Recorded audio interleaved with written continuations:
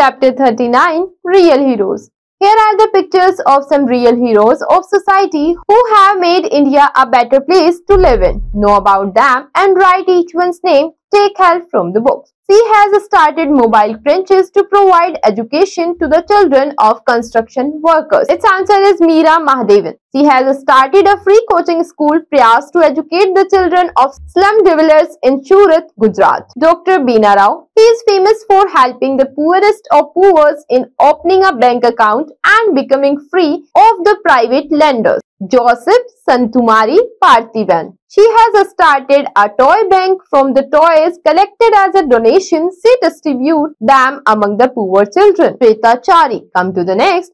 He is the famous Hindi film actor of Mumbai who sent thousands of stranded labor back home during COVID-19 pandemic. He is awarded the UNDP's Special Humanitarian Action Award, Sonu Sood.